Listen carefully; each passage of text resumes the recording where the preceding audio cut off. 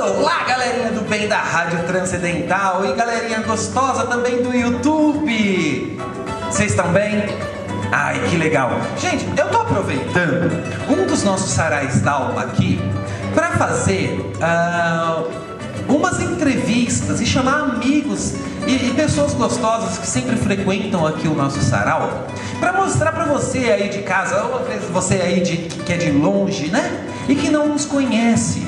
Então, para essa primeira série da, das, das entrevistas, eu vou chamar aqui ela que faz. Uh, mapa, mapa astrológico, mapa, uh, mandala astrológica, trabalha com, faz, faz mais o que? Mapa o que mais? Mapa natal. Mapa natal. Mapa kármico. Mapa kármico, ela é um Waze da astrologia, ok? Se você, se você também é perdido igual eu e precisa do Waze, imagina você ter um Waze astrológico, é por isso mesmo que eu chamo ela Luciana Freitas. E já passo que ela tem um site, Universo Holistic. Palmas, palmas, mais palmas. A amiga ali, ó, no, no cantinho começou. Tudo bem, Lu? Você? Ótimo. Conta o que, que é isso, essa quantidade de mapa que você faz, como que você atende, o que, que é isso? Bom, o mapa, é, o mapa astrológico ele tem várias formas de você observar ele. Né? Então eu posso ver o mapa natal da pessoa, é, também o mapa kármico. O que seria o mapa natal? O mapa natal é como se fosse um manual de instruções da pessoa. Quando ela nasceu. Pera aí, pera aí. A gente é complicado mesmo, gente. Pera aí, isso é sério. Mas eu, meu microfone aqui falhou. Isso é muito sério mesmo, porque a gente é muito complicado. Imagina você vir com um manual nossa, sua vida seria outra coisa. Deixa eu usar o seu aqui, que aquele microfone falhou. Aí, pronto. Aí, é, é que é assim mesmo, tá? É baixo orçamento, é dureza, né? Ah, mas imagina você ter um, um, um, Como é que você fala? Um manual de instruções sobre você. Gente, me fala mais. Como que você faz isso? Bom, eu preciso de alguns dados da pessoa, né? Então, quais seriam esses dados? É, eu preciso do, da data de nascimento dela, do horário e do local. Esses dados são muito importantes para eu conseguir saber no, no, horário que ela nasceu e no local como estava o céu naquele momento. Né? Então, através desse estudo, eu consigo entender como que a pessoa, o que, que ela veio por sincronicidades, né? que nós temos síncronos com o universo, né? o que, que ela veio propor aqui quando ela nasceu. Então, é, esse estudo é para ela para entender, né, para mostrar para ela, para ela começar a se entender, né, ela começar a se autoconhecer, ver seus pontos fracos, seus pontos fortes, que às vezes a gente não, não faz o mapa, né, como nós falamos, não faz o mapa funcionar. Né? Então, às vezes a gente está patinando em algumas coisas e às vezes a gente não está observando quais são nossos potenciais. Então, o astrólogo né, consegue é, direcionar, né, ajudar a pessoa a ver isso, né? a ver como que ela tá, como que, o que ela veio propor aqui quando ela nasceu. Né? Então, é, esse é o estudo da astrologia, basicamente. Perfeito. Então, é, é, ela, a partir do estudo astrológico, a partir dessa resposta, ela consegue compreender alguns aspectos dela que ela pode sim desenvolver ou não. Ah, eu tenho aspectos que eu gostaria de saber de mim. Eu tenho coisinha assim que eu quero saber de mim. Eu sou muito complicado, sabe? Assim, às vezes eu faço umas coisas assim que. Vamos lá, vamos ver se ela é boa? Meu nome inteiro é Vinícius Rastrelo Rodrigues. Rastrelo tem dois L's. Sou nascido no dia 25 de setembro de 85. É, eu sou novinho, gente. Eu só tenho cara de velho, tá? Eu sou bem novinho. Eu sou de 85. É isso aí. Eu nasci à meia-noite e dez aqui em São Paulo mesmo, na Avenida Paulista. Quer ver como ela é boa? Ó só, ela tá fazendo as contas agora, ó. Mentira, esse papelzinho que veio aí, ó, foi tudo de antes. Eu, eu quero o meu manual de instrução. Bom, eu vou falar para você é, algum, alguns pontos aqui favoráveis e alguns pontos não muito favoráveis. Tem ponto não favorável? Como assim? Então, o estudo astrológico, né, ele né, demanda também um tempo para você fazer uma análise. Então, eu vou aqui falar alguns pontos, né, que já estão é, bem colocados aqui. Então, né, eu tirei aqui o, o mapa, né, do, é, através desses dados é, que o Vinícius colocou, né? Faz cinco minutos que ela fez isso. É cinco minutinhos atrás ali, viu? Então, eu, eu só orientando o pessoal para imaginar, né, onde está tá assistindo, que ma esse mapa ele é dividido em 12 partes, né? Então, um relógio. Isso. E ele divide o céu então em 12 partes, né? E cada parte vai falar sobre uma área da sua vida. E, e cada área da, da vida que está no, no céu, né, vai estar colocado algum astro. Né? Então seria o Sol, Vênus, Júpiter. E ele faz interações entre si, me mostrando as facilidades e as dificuldades com relação ao horário do nascimento dele. Né? E aqui, uh, já foi mostrado aqui, então vou falar rapidinho. É, na casa 3, o que é a casa 3? Né? Que a gente fala que essas 12 partes são casas, né? é o nome que nós falamos. E a casa 3 dele, casa de todo mundo, né, de todas as pessoas que tinham no mapa, então a casa 3 se refere ao quê? A comunicação, né, área de comunicação, a, também a parentes próximos, ao ambiente que você interage, mas basicamente a área de comunicação. A área, né? casa 3. Isso. E você tem o Sol na casa 3. É o sol, sol da comunicação. Não, o sol, né, quando a gente analisa o sol da pessoa, no caso dele, o sol dele, é, ele tem um signo solar em Libra, né? Ali, o signo de Libra, ele tem, é, ele está entre a casa 3 dele e a casa 4. A casa 4 seria a casa da família. Mas o sol dele quis ficar lá na casa 3. Mas ele está né, no signo de Libra. E o que, que ele vai me, o que, que ele está me referindo aqui? O Sol ele fala dos desafios que a pessoa veio né, é, colocar aqui nessa vida. Então, o desafio dele ou a realização, né, onde ele vai se sentir realizado, é na área de comunicação. Estou na área certa, baby! então, isso é muito favorável para ele existe uma conjunção aqui com Mercúrio. Mercúrio é o planeta da comunicação, ele é dono dessa casa, né? ele rege gêmeos. Então, ele é uma pessoa que tem muita facilidade em se comunicar, porque o Sol está conjunto. Isso é, é, é, é eu estou falando um pouquinho astrologuês, mas o significado é esse, né? Então você tem essa facilidade, é um grande, é uma grande, existe desafio sim, mas isso te faz realizar quando você supera, né? E então é isso que de bate pronto eu vi aqui no seu mapa. Que eu nasci para me comunicar. Você quer algum, uma partezinha um pouquinho desafiante? Então eu vou falar de Saturno. Saturno no mapa dele está na casa 5 que é também uma casa de, é, da criatividade, né? Então, a casa 5 é a casa da criatividade, dos romances, dos filhos. E Saturno é um planeta que fala sobre responsabilidade, né, sobre é, ser autorresponsável nesse setor. Também fala de grandes desafios. Saturno, a gente diz que é um planeta kármico, né, um planeta de que onde você precisa realizar alguma coisa, você precisa ser responsável por isso mal administrado pode gerar até medo e algumas limitações. Se você conseguir né, é, superar Saturno, você consegue se realizar, porque ele também traz né, o, o, a, o símbolo da, da realização. Então, aí já teria, seria um ponto né, mais né, positivo no sentido que você é da área da criatividade, que você se sente bastante responsável né, na área da criatividade, porque Saturno está realmente nessa área te traz vários desafios, você realmente você fica bastante preocupado. É um choque, né? É, e isso é uma verdade, gente. Para mim é um choque eu me comunicar, porque eu tenho uma facilidade a, a, a, sem pudores para me comunicar, né?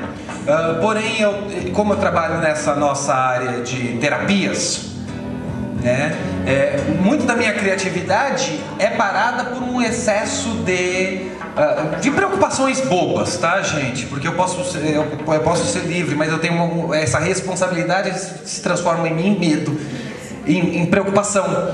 E, e não é uma preocupação real, mas ela fica batendo na cabeça, batendo na cabeça como se fosse real, mas não, não, não, eu não falo nenhuma bobagem, também eu não sou ninguém assim tão, tão pra, né, pra levar ninguém pra... Mas é, é uma verdade, eu fico... É, responsabilidade traduzido por medo, eu, sou um, um, um, um cagão. Então, e tem um outro planeta que fala também da área de artes, que é Netuno, né? O seu Netuno está na casa 7, que é a casa das parcerias. Então você, é, o Netuno ele mostra que você gosta de parcerias correlacionadas a, às artes, também correlacionada a, a, a ser uma pessoa de, de ajuda, né? Porque o, o, Netuno ele é rege peixes. Peixes é o planeta da compaixão, do, da espiritualidade. Então está ligado. Então o seu mapa está falando direitinho aqui, né? O que a gente sabe, o que, o que você Não está. é culpa minha! A culpa é das estrelas. ele está revelando bastante a sua personalidade, né? Então, aqui são alguns pontos, né, que eu vi, né, do mapa. É, e a gente consegue ver vários outros também, mas aqui eu estou falando mais a questão do manual de instruções, um pouquinho, né, do que como você funciona. Aqui poderia haver também os aspectos, quais são as dificuldades. A gente, eu analiso é, cada casa, né, cada setor. Mas assim, falando de baixo pronto, né, é, eu percebo que aqui são três partes que que é que que manifesta bem a sua! Eu só vou precisar fazer um cortezinho rapidinho. E voltamos agora. É, Gente, é preciso cortar porque senão a câmera ela fica gravando, fica gravando, aí ela para de gravar de repente. Aí eu fico louco, aí eu preciso fazer assim 10 em 10 minutinhos, tá? Mas voltamos aqui com, com a Luciana Freitas. Lu, quem quiser esse manualzinho de instrução, como te achar? Vai estar escrito aqui embaixo, tá? Mas me, me conta aí, ah, tem um site, né? Universo Holistic com C mudo no final, ponto .com.br. E, e como que você atende? Me fala. Eu atendo, é, eu tenho celular, né? Eu estou em São Paulo, DDD 11. É, o telefone é 94303-7475. Também atendo pelo WhatsApp. Né? Ah, minhas consultas é, no momento são online. Né? Você pode é, marcar um horário, né? o para consulta. É, você tem uma conta ou no WhatsApp ou no Skype. E né, faço essa, é, é, essa consulta também, atrave, é, também através do, das cartas, é, com a mandala astrológica, também com outros jogos com, a, é, com o tarô de Marcélia. É, quando a pessoa está querendo saber de perguntas mais objetivas, né? E não querendo entender somente só como ela funciona, e sim por momentos que ela está passando naquele, naquele momento, então ela pede também um jogo de cartas, que eu também abro isso para fazer. Perfeito, Lu! Então você que é aí, eu tenho bastante audiência lá na África, em Angola, eu tenho bastante audiência em Portugal. Gente, dá pra fazer. Dá pra fazer. Ah, universo Holístico? Isso, o site é Universo Holístico.com.br Holistic com C no final. Tá bom? Eu vou abrir agora. Alguém da plateia tem alguma pergunta? Hã? Ninguém, gente. Que coisa! Não quer saber do- das coisas que aconteceu quando você nasceu. Leni, você tem pergunta, Leni?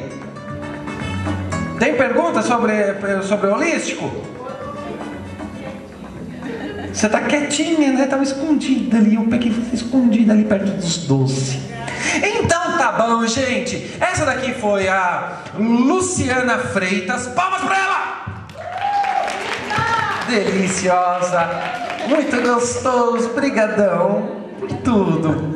Me deu um manualzinho aqui de instrução falando que na casa 3, não, que a casa 3 é a responsável por eu, eu- eu me comunicar pra caramba, que é a casa 7, que eu tenho, eu tenho Sa- Netuno, Saturno, não, Netuno, Ne- Netuno tá na casa 7, por isso que eu sou tão medroso, por isso que eu sou, que eu fui, a casa 5.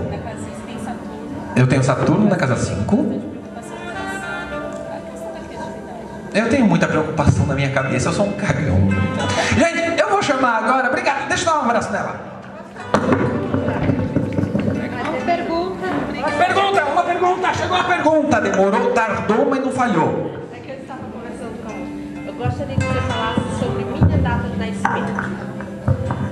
Ah, você você estaria, você estaria falando então sobre, sobre a numerologia. Isso, isso. É, eu não faço estudos numerológicos, eu faço só estudos astrológicos, eu uso a data do seu nascimento para eu poder entender qual, como que estava a configuração do céu.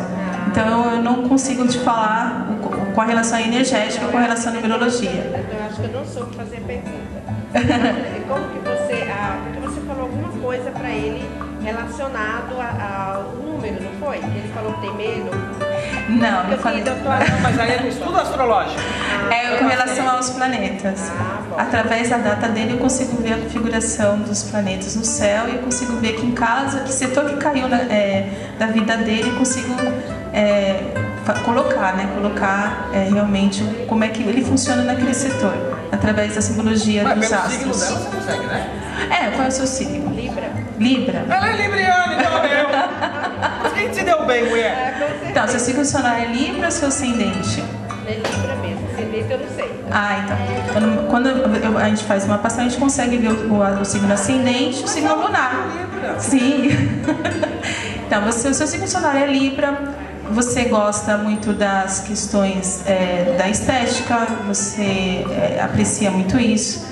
Tá? Então você é uma pessoa que gosta, é, gosta da harmonia, né? então, da- da- das coisas. Ah, Às vezes as pessoas podem pensar, nossa, o Libriano é uma pessoa mais pacífica, né? Às vezes. Não. né? Gosta de conversar bastante também, né? Mas gosta de ser uma pessoa mais diplomática. Né? Então você gosta de ponderar também, é, você sabe o momento certo de é, se colocar, né? De se colocar. Mas as pessoas não ficam pensando, nossa, ele é muito assim, uma pessoa muito pacífica que às vezes pisa no seu calo. Não é. Então basicamente é isso. A gente precisa ver também o seu ascendente e o seu signo lunar. O seu o seu ascendente vai falar como você se mostra às pessoas, e o signo lunar vai falar como que você se apresenta emocionalmente às pessoas. Já aproveita, meninas, e vai fazer uma consulta. Isso aí. Fazer uma consulta. Obrigada. Deixa eu ver agora se tá livre ali. Pode. O que você pode falar sobre uma pessoa que tem Sol, Lua e Ascendente em Câncer? Espera aí, o que, que você pode falar? Essa é boa. Deve ser uma choradeira. Mas deve ser uma choradeira danada. Deve ser uma. um- um- nossa! Como que era? É Sol e. Sol, Lua e Ascendente. Sol, Lua e Ascendente em Câncer. Andando de lado. Vamos ver o que, que é isso. Bom, primeiramente eu vou falar que você é bastante transparente, né? Você não, não disfarça realmente suas emoções, né? É, você realmente se mostra, porque quem rege a câncer é a própria lua. Então você é totalmente emocional, você é totalmente água. Né? Então, realmente, é como ele falou um pouquinho, o drama está do seu lado. né? Então isso é muito fácil para você, né? A questão emocional para você é muito fácil você expor isso. Só que você também cobra bastante das pessoas, né? Você cobra muito uma posição emocional delas com relação a você, porque você só enxerga o mundo muito emocionalmente, né? Você não, aí teria que ver os outros aspectos para ver como você funcionaria em outras, é, em outras áreas da sua vida. Mas basicamente você é uma pessoa bastante emotiva, né? Você quer, você é uma pessoa exigente, né? Bastante exigente com relação a, a como a- o outro, né? Pode estar se suprindo, né? Com relação ao emocional, porque você se doa demais, você quer realmente aquela pessoa, a, a- família principalmente.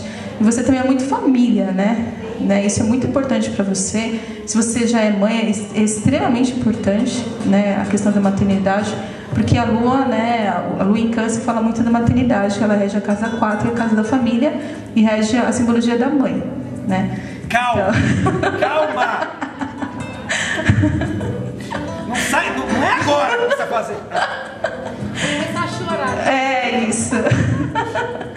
né? Então é um ponto muito forte você que pode ser direcionado para alguma uma área né, mais específica com relação à área mais emotiva, né? De colocar isso né, mais em prática. Se você for para um, um lugar onde você não consiga se, expor tudo isso, você vai se sentir realmente muito presa, né, com relação, né, como que eu não vou conseguir é, me colocar, como que eu não vou conseguir falar. Então isso para você é muito difícil, né, não conseguir expor essa, essa emoção toda, né. E as pessoas que te veem, às vezes elas podem ver assim de uma forma, nossa, né, eu não, eu não falei nada. Mas é, você, é, você, você, você se emociona bastante, né? Então, bom, basicamente é isso. Que delícia, né? É, é, caiu tudo no, no, mesmo signo. Quando acontece isso, potencializa, né? Potencializa um aspecto. Que delícia! Gente, eu conversei aqui com a Luciana Freitas. Acertei? Ai, sou bom nisso. Os telefones e o site tá aqui embaixo. Tá? O, o Universidade Holística, é isso? Universo Holistic, que com C no final. E repete o telefone? O DDD 11 é, é o celular 94303 7475. Gente, entre em contato, você que é da África aí, eu tenho uma, um público legal lá na África, eu tenho um público legal também em Portugal. Uh, vocês podem se atender com ela, hein? Gente, é isso aí. Eu vou ficando por aqui. Já já tem mais uma entrevista. É, é, é rapidinho, tá? Obrigado! Arrasou, mulher!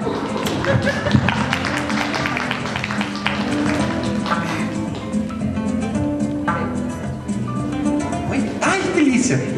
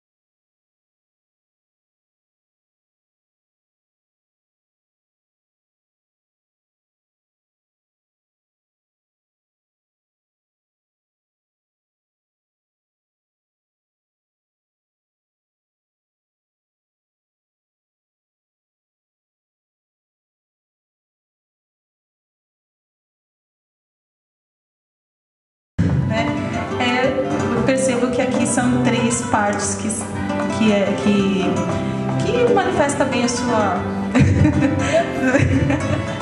Perfeito! Eu só vou precisar fazer um cortezinho rapidinho ali, porque senão ela, ela cai, tá? E aí a gente já volta.